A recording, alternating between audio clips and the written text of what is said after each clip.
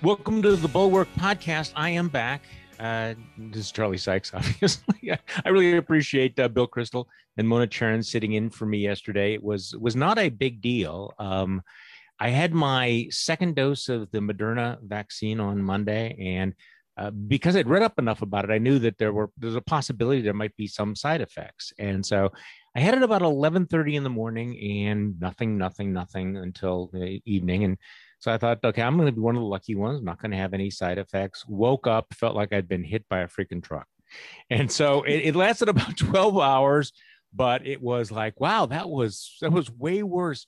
It just you know, I was trying to think of how to describe it. It was like just having been beaten up by a gorilla, a gorilla with hammers.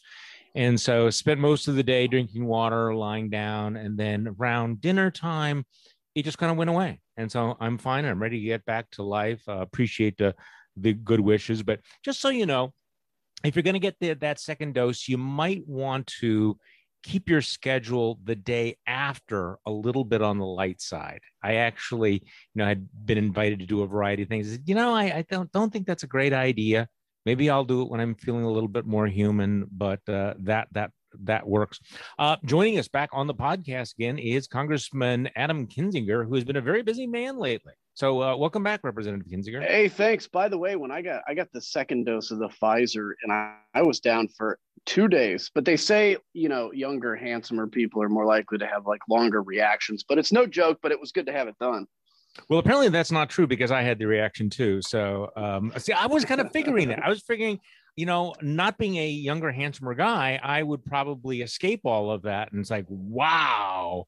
So um, you, we need to talk about Dr. Seuss, obviously. I mean, yesterday the FBI director, you know, was talking about the ongoing threat of domestic terrorism. You, you folks in Congress debating 1.9 trillion dollar relief package and voting rights, and President announced that he would have enough vaccine doses for the entire adult population by the end of May. But but in the in the republican hive mind it's all dr seuss all the time. There's one guy that counted up uh, fox news. 139 mentions of dr seuss on fox news between 4 a.m tuesday and midnight. Just, and it was so big it actually pushed the degendering of mr potato head out of the news. I mean this, this, this was so bad that your leader Adam, actually raised it on the floor of the House of Representatives during a debate about voting rights. Here's Kevin McCarthy. H.R. 1 rewrites election law and imposes a one size fits all partisan rules from Washington. Under the Constitution, we generally defer to states and counties to run elections. Democrats want to change that. First, they outlawed Dr. Seuss, and now they want to tell us what to say. I don't know. I just it's so it really is all culture war all the time, isn't it?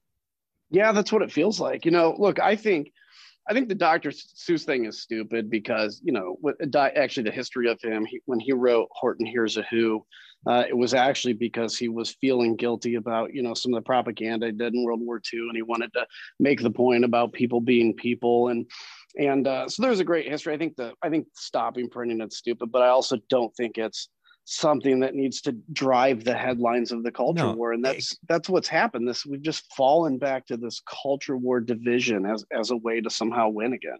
Yeah no i i, I agree with you. I mean I, I think it's always a bad idea anytime that you you you ban burn cancel or don't publish a book because of the content. I just think that's that's you're generally always going to be on the right side if you say no let's not be let's not get involved in banning books. But on the other hand this is one of those moments where it's like put what are the public policy implications of a private company deciding not to reprint books as opposed to everything that's going on here? And I, I, think it's another indication of the way the sideshow has become kind of the main event for folks. And and then i guess there's a reason why republicans in congress are not talking about obamacare and healthcare anymore. Why they're not i mean it's a, think about all the things we could be talking about now and yet it's it's it's dr seuss. Anyway i mentioned before uh, you've had a you've had a really busy last two weeks. Um, you had the president of the United States call you out by name from the stage uh, in, in, in Orlando. I mean, you are officially on the on the president's enemies list, Adam. You know, it's it's uh, it's interesting. Yeah, usually enemies lists I thought were reserved for like Al Qaeda and uh, not fellow Americans and certainly not fellow Americans of your same party. But yeah, I had no doubt that it, you know, I was going to be called out because he couldn't resist himself. And I mean, all you had, the only thing new in that speech from a speech he gave in September was he talked about a, the election being stolen in the past tense and he named names. And it's, you know, it's all, all these people that, that come up to me and say, you know, why are you, why are you out there fighting? We need to show unity. It's like, yeah, I, you know, if there was a sense of unity being shown, uh, I would agree, but there's no unity being shown. It's like we're going to show unity as long as we can cancel and kick out the people that frankly voted their conscience and are truly conservatives, not just you know these RINOs that uh, run the run the party and and that Donald Trump is. I, I, think it's worthwhile just dwelling on that irony a little bit. You know, all this the canceling and the censoring of anybody that that, that bucked the president. The whole theme now is about the cancel culture. That was the theme of of, of CPAC, and yet. isn't this the whole point of what Trump is doing and all of the state parties censure? You've been censured, right? Or have they oh, censored yeah. you? They've they've they've, mm-hmm. they've, done, they've done that, and I, it's like every single person's been censored as far as I know, nobody's censured. Uh, Republican Party hasn't censured Marjorie Taylor Greene or Madison Cawthorn or any of the others, but but you guys are being canceled. So the, the, the Republican Civil War apparently was canceled, according to Senator Scott. Except what? It's it's it, it's back on now. As long as you're yeah, I think they're basically declaring, trying to declare victory, and it's like, well, some people won't go away, and you know, and that includes me. And here's the deal you know, I got you look at like Southern Illinois, for instance, and uh, Mary Miller, she said the thing, you know, something that Hitler did well was, you know, on January 6th mm. or something. And she never got censured, but some of the counties she represents that I, you know, are hours away from me censured me. It's like, I, I tried to start the hashtag censure frenzy because that's what we're basically yeah. in right now. And, and it's like, you know, look, I, I, if you censure me for voting my conscience, I think that says a lot more about you than me. And I don't lose any sleep except to say that this is obviously the reason that I think the battle for the heart and soul of the party has to be public because, you know, it's the public that votes and it's the public that's going to put new leaders in. Okay, I wanted to play a soundbite of something you said the other day. Um, you know, speaking of, of CPAC, one of the rock stars of CPAC um, was Josh Hawley uh, one of the the senators who objected to the counting of the electoral vote, and he stood up there and and said, you know, I object, and he got a standing ovation. And uh, this is what you said on CNN the other day. All you had to do was see Josh Hawley's smug face at CPAC as he stood in front, you know, getting these this adulation from the crowd about how he you know, you might have seen I rejected the like, and everybody's and he's out there like feeling great about it. Like there are five people dead, two that took their own life on top of that as a result of what you did. It was embarrassing for us around the world. It's actually for me as a guy that's involved in foreign policy. It's been difficult for me to talk to other countries about how to do democracy in the wake of that. But as long as you're the most important thing and you can run for president, that's great. So in my mind, look, I, I, think these people like Hawley are going to not be the contenders in 2024. I actually have an optimistic view of the future of the party, which I know is kind of hard to imagine now, but I hope we get some answers today. And, and you know, I, we need a dose of humility too, I think not a lot of humility, not a lot of optimism. What what could possibly make you optimistic about the future of the Republican Party when you see what happened down at CPAC, which was kind of the insurrection after party, and Josh Hawley bragging about his role in the insurrection, getting a standing? How could you be optimistic? It's just Jesus. Uh, that's the only reason. Now, look, I think, I, I mean, when you see, so okay, it, you know, if you believe in God and you look at what happened at CPAC and you say, okay, if the devil is is out there going, which I believe he's like trying to discredit Christianity through all of this, you're going to sit there and say, I got a great idea. I'm going to bring a golden Trump statue. It's as close to, oh. you know, the 30 second, uh, is it Ezekiel or whatever it is, of, of just worshiping the golden calf.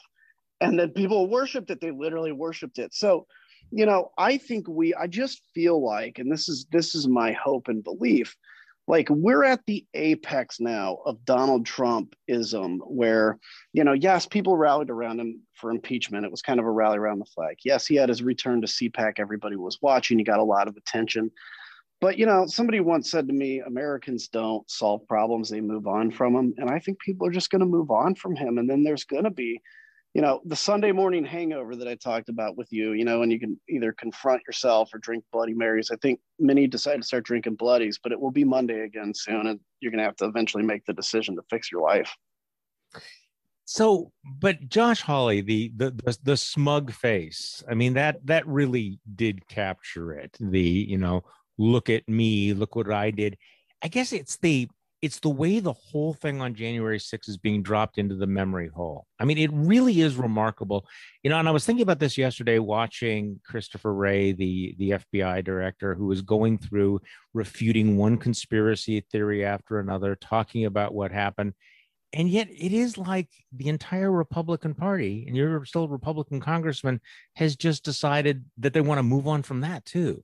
That it almost that it didn't happen. And with every single day, they become more invested in denying what happened and to minimizing what happened.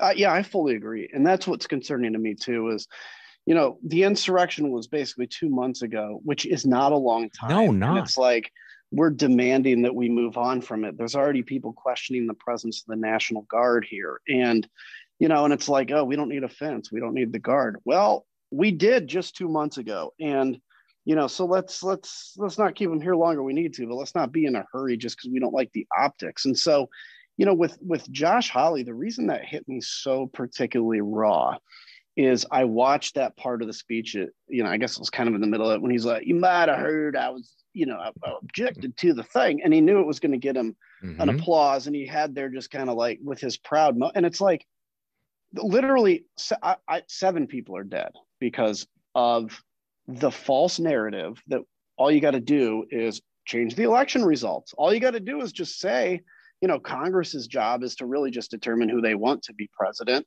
And, uh, but there was no ownership from that. If I if I went forward with that tactic and, and what happened on January 6th happened, I, I would be there'd be a lot of self-reflection right now. I've gotten to know the officer, Michael Fanone, who, you know, was the one that was drugged down the stairs. That they said shoot him with his own gun. Yeah. was tased six times.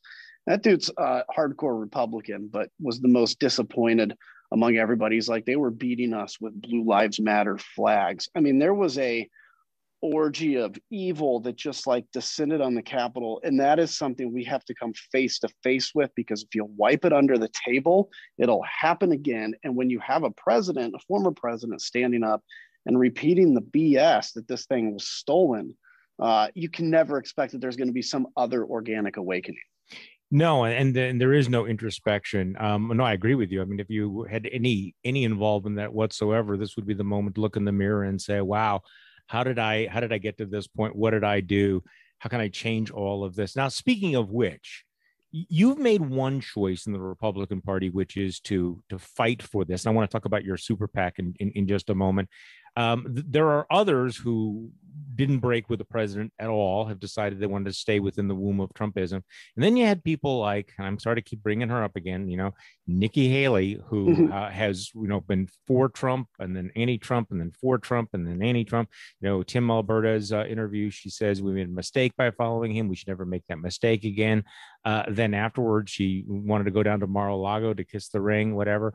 The president gives a speech at CPAC which he repeats the big lie about the election, reads the names of his enemies list um, on the stage, and Nikki Haley tweets out, "What a strong substantive speech." I mean, what, what is is is this part of some great scheme to triangulate? Yeah, I was really disappointed in that. So I've been disappointed in her since she's kind of done the back and forth. I mean, honestly, I think we're at this moment where you got to pick a lane. You know, are you yeah. country first or are you Trump first? I don't think you can. I don't think you can walk that middle road anymore. And you know, for her, first off, if it was a powerful speech, I'd give her a little slack. Second off, all he did was regurgitate fear, you know, division. Half the thing was on immigration and the hordes coming up from Central America. And it was like all you had to do was unplug his speech from September and like put it in the past tense and and now you got the february there's nothing powerful about that and he repeated lies so i was really disappointed because eh, you know maybe i'm biased i thought the speech was a boring and i thought it was there was nothing new and it was just i'm going to stand up and get you know, for old time's sake, I'm going to get my adoration from the crowd. So I, it yeah. was, I think her tweet was obviously an attempt to try to assuage the people that were mad that she dared criticize. Okay, then then now now do Mitch McConnell. Explain Mitch McConnell, who, but the day before CPAC begins, goes on Fox News and says that, uh, well, yes, absolutely. If Donald Trump was the nominee in 2024, he would support him for another four years in power. Explain this to me. That's hard for me to do. Look, I, am glad. I was disappointed McConnell voted against removal, but I, by the way, uh, Bill Cassidy gets a lot of yeah, credit in my book, I, and uh, we can go into that, you know, in some other time. But I, I, with Mitch, I was disappointed didn't vote to remove. I thought his speech was great. You know, yeah. I, I, do think he's trying to both sides a little bit, but I thought it was great. He's an institutionalist. I think he's a, you know, he understands power politics, and I think his point was if the base picks Trump out. But and I guess I can get it. It's okay. But the problem is, you know, everybody's sitting around saying, if the base, if the base does this, you know, the base has changed. So yeah, we've gained millions of voters. We've lost millions of voters. This idea that the base is this static thing that we have to comport to versus lead is wrong. You can lead the base to new and better things, which is what the whole country first thing is about. You can lead them to new and better things. You can bring new people into the base who say, "Boy, that's a vision I can get on board with." That aren't Democrats, and uh, but instead we have this idea that okay, you know this this angry you know, fired up base that's been fed a steady diet of years and years of fear. Uh, they're totally unchangeable. We have to use only fear, and you know, we can never add anybody to the base. But somehow we're going to miraculously come back and win, short of a nuclear war. No, I, I, I guess I was a little bit surprised that he would have, um, that he would have made that statement. I guess my only the only explanation was that he didn't want to get to have three days of CPAC beating up on him. Uh, but you mentioned Bill Cassidy from Louisiana, so let's at least you know hand out a you know a few laurels here. Um, it's extraordinary, not just that Bill Cassidy is not backing down, but he represents Louisiana. That's got to be pretty hardcore Trump country. I mean, he's got to be getting a just he's got to be in a world of hurt um, with with fellow Republicans, and yet he apparently has decided number one he's going to stick to this, and number two he must have some level of confidence he can do what you just suggested, which is to persuade the base that this is not the right way to go. I think he's he's taken the long view, which is the right view, which is you know, first off, he's not up in two years. I think he's up in 4 mm-hmm. um, but I think he'd have voted this way even if he was up in two years. Honestly, I, have I've talked with him. I, I, knew him when he was in the House. He's just a good man, and, mm. and he wants to do the right thing. But you know, he looks at it, and I don't think there's anybody that with a straight face can think. Well, maybe they think it, but I could explain if I had some time to them you know, that in, in four years, Donald Trump is not going to be the main player in the Republican Party. And I really strongly believe he'll be so? embarrassed of Trumpism. I don't know if that's in two years, but I think it's definitely by four. Um, mm. But yeah, you know, he, he just basically said, look, I listened to the argument and Donald Trump was guilty and I voted to remove him. That's what people should do. That's what you should do. Why do you think that uh, the, the Trumpism is going to fade away? Because there's a lot of folks who think, look, um, one of the things that we've learned in the last two months is that there's nothing that is going to shake this this party. There's no one um, in the field who could beat Donald Trump if he got into a primary. I mean, how how you know? So what what is the alternative to that? Why should we not think that somebody named Trump will not be the Republican nominee in 2024? Well, I think it's a fair question, and I think it's particularly a fair question if nobody steps up to challenge. You know, and if if everybody's just quiet and acquiesces to Trump's vision and pretends like we can still win a presidential election, even though we lost by millions and millions of votes, uh, then yeah, then I think there there's no doubt it's going to be you know Trump or somebody like him in, in four years. But I think I still think at heart the American people are good and optimistic if they're fed optimism, and they've only been fed fear. And so, you know, as as every day that goes by, people think less and less about Donald Trump. You know, Joe Biden, who I disagree with on policy, but I think is a, a decent man, 60% approval rating. You know, you had 45% of people at CPAC not list Donald Trump as their candidate. Yeah. Now, granted, it was all Trumpian people, but that's still some progress. And I just think we're so early that, you know, sane voices are going to arise and and take back this party that has a great history. They just need to be reminded of it. Well, one of the people, and, and I know we, I mentioned this right before we started the podcast. I know you haven't seen it yet, but Mike Pence has broken his silence. He's got a piece up at the Daily Signal, which is a publication of the Heritage Foundation, in which he's kind of doubling down on the on the big lie about the election. He doesn't mention Trump's name, and he's writing about HR one, which is the Democrats' uh, election bill.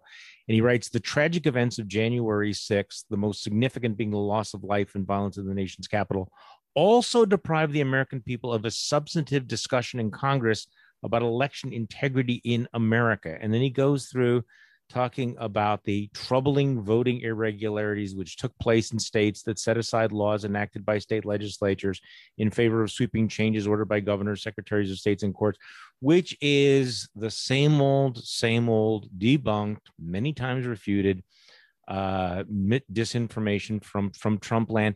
Mike Pence seems to be uniquely positioned to be the guy that says, Look, I supported all the stuff you support, but this is wrong. We can't go this direction.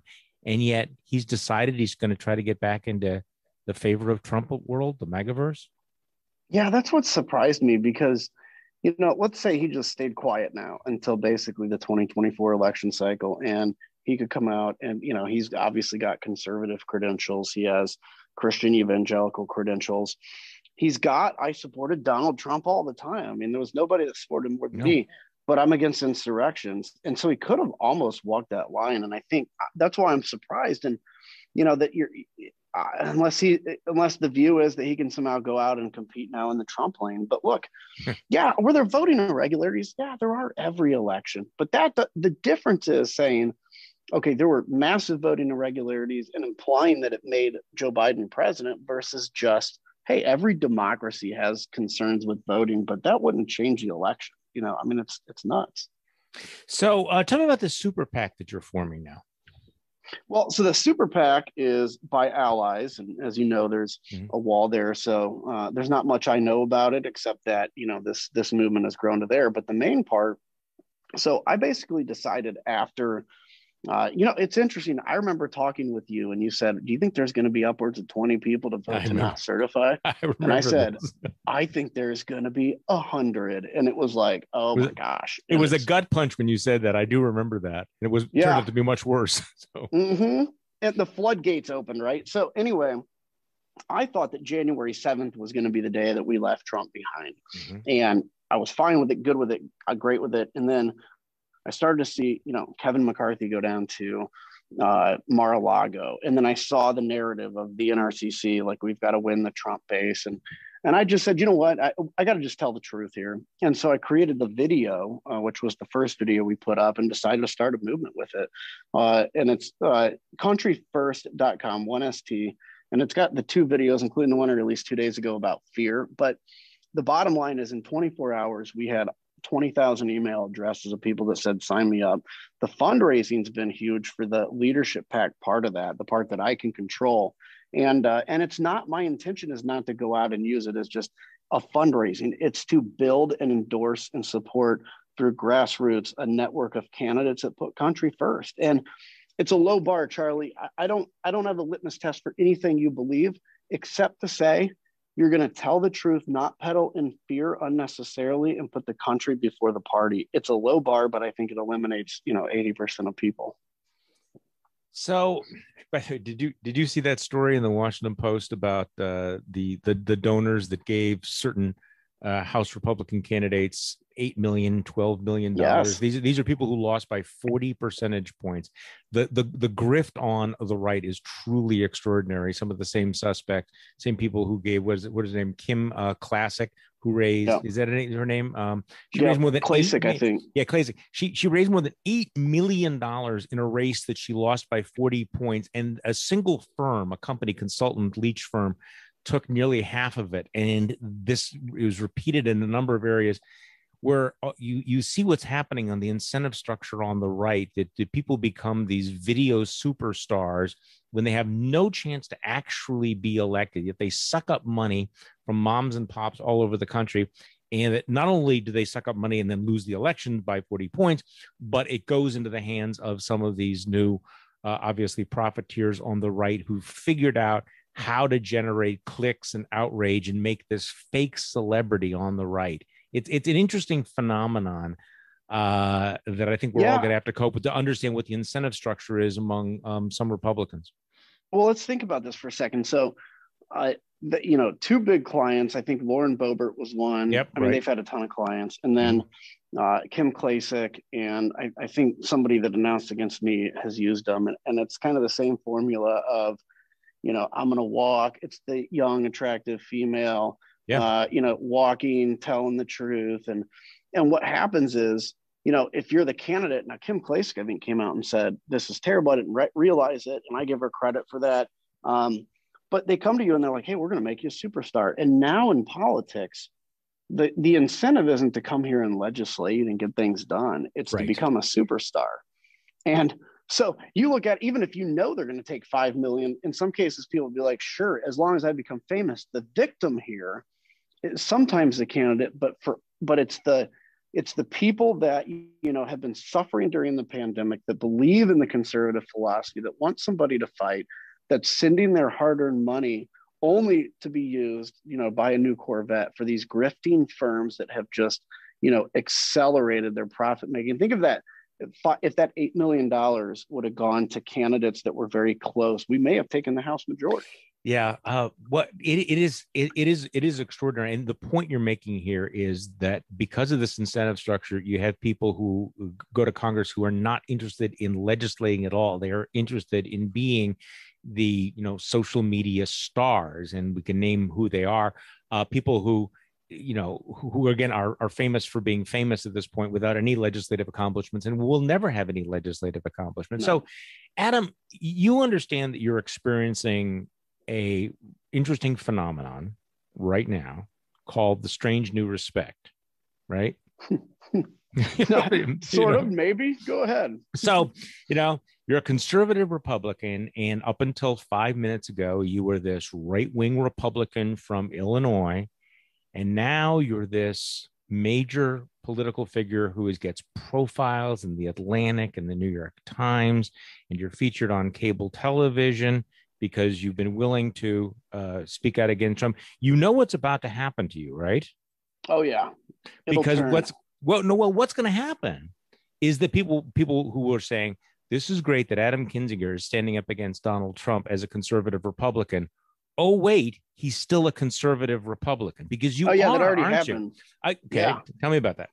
Yeah, so I, uh, you know, voted uh, against the pandemic relief, not because right. I'm against pandemic relief, and I'm also pretty, I'm also fairly moderate on things like gay marriage, but I had to vote mm-hmm. against the Equality Act because the Equality Act included no protection for religious liberty, and there were issues with female sports, and and uh, that turned into you know some of the flying monkeys that say, oh my goodness, it's all it was all a lie, but that's okay because to me, it's all there are a lot of people still that have stuck around and said, look, we never expected him to be you know anything but a conservative. But we understand you know a lot of the support for country first has actually come from republicans republicans like you know charlie sykes and people that mm-hmm. you know go to the bulwark that are that feel disaffected or that are about to feel disaffected.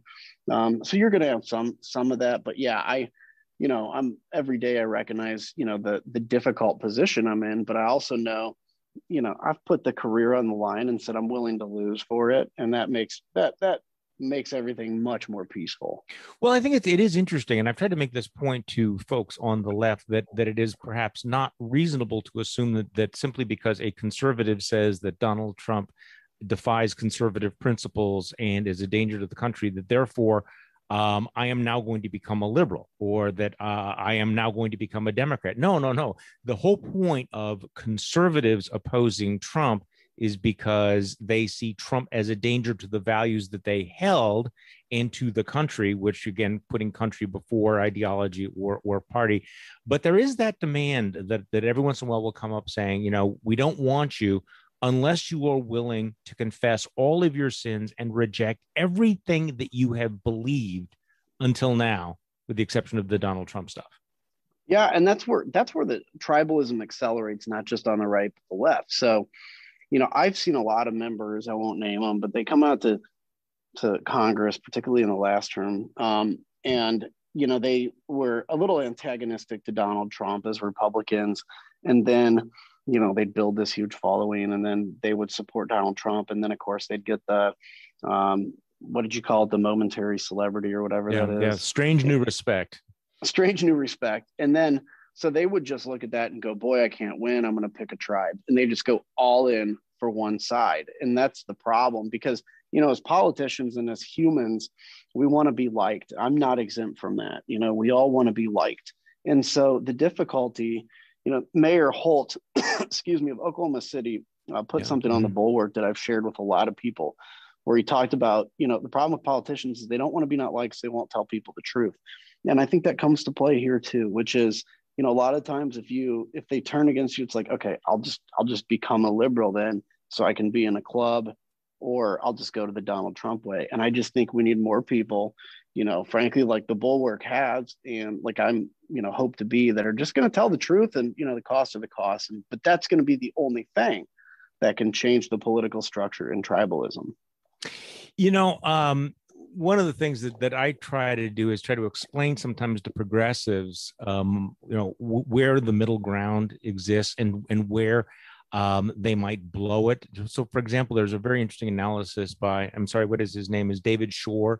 I think he's a progressive who has been analyzing what's been going on in the campaign. And he, he has an interesting interview in New York Magazine where he's saying that the Democrats probably um, underestimate how many uh, votes they lost on the defund police issue that there there was real possibility with in, in the wake of George Floyd. But when you started talking about defunding police, not only did you lose white conservative voters, but that's one of the reasons why Hispanic conservative voters flipped back um, to, to, to Trump. In fact, the one most predictive uh, issue for Clinton voters who switched to Trump was this concern about crime and law and order and defunding the police. And I, I wonder whether or not um, Democrats right now understand all of that. I mean, you're, you know, I mean, we're in this moment of saying where where can we make common cause? Where can we not make common cause? And I think that one of the things we can do is try to translate. Okay, if you say it this way, this is going to repel the kinds of people that you are going to need to create a coalition of the decent going forward. You yeah, that's I mean? right. And so, well, and part of the problem is the messaging. When you're messaging to the base, you're guaranteeing you're not going to find common ground. So, you know, when you're saying on the left, we want to defund the police, it may fire up your base. They may be good with it. They may know what you really mean, but the rest of America doesn't. When we say things like, you know, the stuff that we say, you know, yeah, it may fire up the base, but it's not going to win America. And so I think, and this is the problem, is every issue now, every issue is binary. You're either on one side or the other. There's a conservative side and a liberal side. And I think we have to change the whole discussion. So for me, conservatism is real basic. It's just that a kid born in the inner city of Chicago should have the same mm-hmm. opportunity as a kid born in Highland Park, which is a wealthy suburb. That's what conservatism is.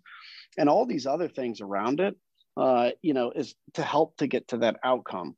So the idea, you know, we're always for tax cuts and never for tax increases. Well, I think we need to look at revenue when it comes also paired with spending cuts because what I want is a sustainable government that is big enough to defend us, small enough to allow us to breathe. And I think if you begin to build the narrative outside of what it's been since 1980, you can begin to build those consensus again. So just real quick, you know, Danny Davis uh, is a uh, African American congressman in Chicago. Good friends with him. He is as passionate about his community as I am. He knows his community obviously far better than I do. Uh, I happen to believe that there's a certain way to help bring success. He believes it's different, but we both have the same goal. And we've been talking a little bit about that. That's the kind of conversation that needs to happen. But instead, it's all, boy, how do I fire up the base and say something cool on you know one of these tv things so i can send out a tweet that gets a gajillion retweets and a million bucks. See now that's really an interesting point because it, it, it, seems that right now the ideological divide on some of these issues is is weirdly enough narrower than it used to be you know on spending on issues like the minimum wage which may then explain why people need the culture war stuff, the Dr. Seuss and Mr. Potato Head stuff to, you know, continue to inflame the, the base. But, you know, for example, I mean, you know, given the, the four years of Donald Trump, um, obviously you're not going to have a lot of Republicans who are going to be objecting to sending out the, the stimulus check. Or, or for example, on the issue of, I'm jumping around here a little bit, on the issue of the minimum wage, I mean, there's a there's a compromise there, isn't there? There Sure, there, yeah. there is a middle. If people would sit in a room with good faith and we'll say, okay, we share the same goal, but how do we get there? There might be different approaches. You want to raise people's wages, you want to get people out of poverty, but you don't also then want to destroy hundreds of thousands or millions of jobs. How can we best do that? That conversation can take place right now if you have people who are willing to engage in good faith discussions. You're right. So think about it. So four years ago in a debate, I actually called for raising the minimum wage. And that was back when I think $10 was radical. Mhm. And I said 10 bucks needs Mhm. to go up. And and then they pushed the, the goal to 15. And so now, you know, look, if the Biden administration, for instance, would have come to me and, you know, granted, I'm not a senator, and that's typically where those negotiations happen, but said, what can we do on minimum wage? I'd say, hey, let's look at a number below 15 and a little bit of a longer time to get there, but then put an inflationary device on it that kind Right. of comes every five years. We could have gotten to that. But instead, the left has the litmus test of 15 bucks or bust, and the right has a litmus test of nothing or bust, and nothing gets done. Is that really the Republican position now? Nothing. Just stick with uh, was it uh, seven twenty five forever? I don't know what the Republican position uh, is because the only Republican position is no to the 15. And that's part of the problem. We haven't articulated alternatives. It's always a problem when you're in the minority. It's not necessarily specific to now. But I do think if you said something like 10, 11 dollars over a sustainable period, given the fact that so many small businesses are struggling, um, I think you could get there with a, a significant number of Republicans, if not a majority.